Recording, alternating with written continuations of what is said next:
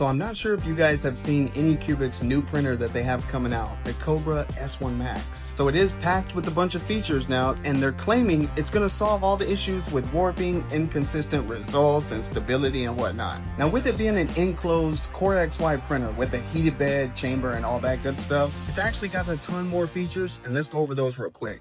This thing's packed with features, but my favorite is the build volume. At 350 by 350 by 350, this thing is pretty big. It's a Core XY printer with a 350C hardened steel hot end. It does up to 16 colors, and you can even dry your filament while you're using the multicolor box. Engineering filaments? No problem. And speaking of filaments, it's got intelligent filament ID, and it can even do faster filament swaps. And in case you run out, it has auto filament refill. They even said it's going to be able to track your your estimated remaining filament. So yeah, if you look at a whole, I think Anycubics really packed a lot of new features into this machine and I really can't wait to try it.